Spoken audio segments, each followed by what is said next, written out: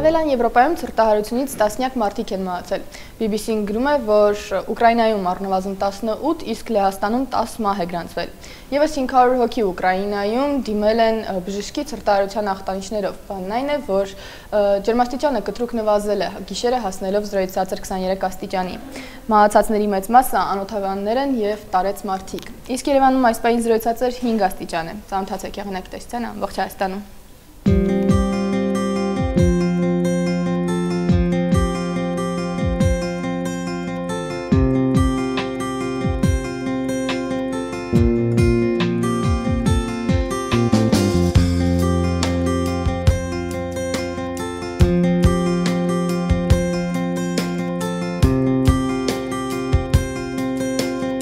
Հայաստանում ուշադրության կենտրոնում շարունակում է մնալ քաղաքական թեման։ Երեք երեկոյան նախագահական նստավայրում հանդիպել են իշխող կոալիցիայի երեք կուսակցությունների ղեկավարները։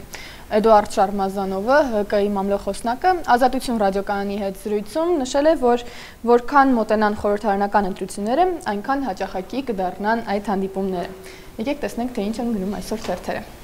Ողջունիկ։ Բարի օր Գայան, թերթերը այո, հենց այդ թեմային են ամենաշատը անդրադարձել երեկվա կոալիցիայի հանդիպմանը եւ մեջ բերելով Շարմազանովի հայտարարությունը փորձել են հնարավոր կանխատեսումներ կատարել, օրինակ 168 ժամը ժամանակը ժողովուրդը, բայց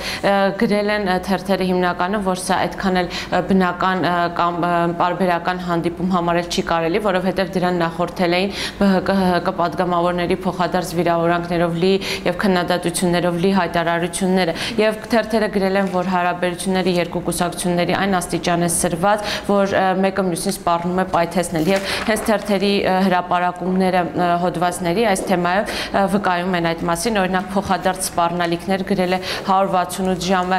հրաապարակը գրել է ասեղային պատերազմ, ժողովուրդը գրել է փուչիկներ, փուչիկներ եւ նաեւ հայկական ժամանակն է անդրադարձել այս թեմային գրել է սպառնում են պայթեցնել իրար նույնիսկ նկարները այդպիսի փուչիկային են թերթերի իսկ երկիր իր խմբագրականում անդրադառնալով այս թեմային գրում է որ այդ փոխադարձ հայտարարությունները կամ սպառնալիքները վաղուց վկայում են որ կոալիցիան որպես այդպիսի գոյություն ունի եւ այն զուտ ձևի է արդեն վերածվել շարունակելով այս ընտրական թեման գայան է ուզում եմ անդրադառնալ երկրի հետաքրքիր մի ուշագրավ հոդվածի ուշագրավ վերնագրով ուրվականների վերադարձը այսպիսի վերնագիր է ընտրել եւ երկիրը գրել է որ մի շարք կուսակցություն ընկերությունների ղեկավարներ, օրինակ Արտաշես Գեղամյանը, Խոսրով Հարությունյանը, Դավիթ Հակոբյանը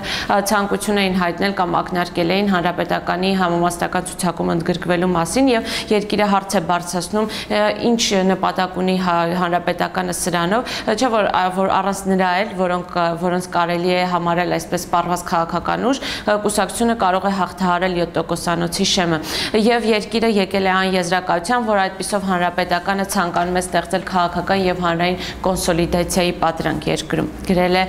թերթը։ Կան մյուս թեմա, որ առավել գերակայող էր մեր մամուլում նախկին արտգործնախարար Վարդան Օսկանյանի երեկվա հայտարարությունն է։ Առաջին էջերում շատ թերթեր անդրադարձել են այդ հայտարարությանը, ժողովուրդը, հրաապարակը, ժամանակը, նաև 168 ժամը եւ մեջբերել են հայտարարության այն մասը, որ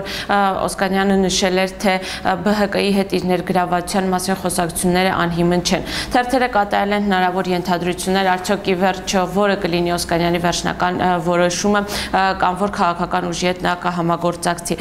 Եվ օրինակ հրաապարակը գրել էր այս խոսակցությունների մասին, մեր թերթը գրում է դեռ 1.5 տարի առաջ գրել է հրաապարակը։ Եվ վերջապես Գայանե ուզում եմ անդրադառնալ կրկին Արոնյանին, ինչ այդ թեմային մենք անցաչափաթել անդրադարձանք։ Ի վերջո Արոնյանը Վեյկանզեում հաղթեց այս մրցաշարում եւ օրակարգը հետաքրքիր համեմատություն է կատարել, գրել է Արոնյան Ռաջաբով վերջին հանդիպումը ադրբեջանցի գրոսմայստերի հետ, որտեղ ոչ ոքի ավարտվեց, հիշեցնում է հայ-ադրբեջանական ներկայիս հակամարտության վիճակը, երբ ադրբեջանցիները փորձում են գրոհել, բայց միևնույնն է հաջողության չեն հասնում։ Եվ այս թեմայով հետաքրքիր հետաքրքիր համատությունը Այո, շատ հետաքրքիր էր, ինձ էլ գրավեց այդ համատությունը եւ հրաապարակն է այս թեմայով նաեւ գրել, մասնավորապես փորձագետ Էդգար Վարդանյանը անդրադառնալով Սոչիի հանդիպմանը կրկին անդրադարձել այդ Լավրովի հայտնի մաքսիմալիստական նպատակներից կողմերի հրաժարվելու հայտարարությանը եւ գրել է, եթե Ադրբեջանի համար դա կարող է լինել, ասենք, գրավվել տարածքների մասին իր հայտարարություններից հրաժարվելը կամ համաձայնվելը Լեռնային Ղարաբաղի անկախությանը, ապա ո՞րն է Հայաստանի մաքսիմալիստական նպատակը հայ հանրության համար դա մնում է անորոշ եւ փորձագետը ցանկանում է կամ հարց է բարձրացնում, որ Հայաստանի իշխանությունները բարձաբանումներ մտցնեն այս թեմայով։ Այսքան այսօրվա մեր մամուլից Շնորհակալ։ Շնորհակալություն։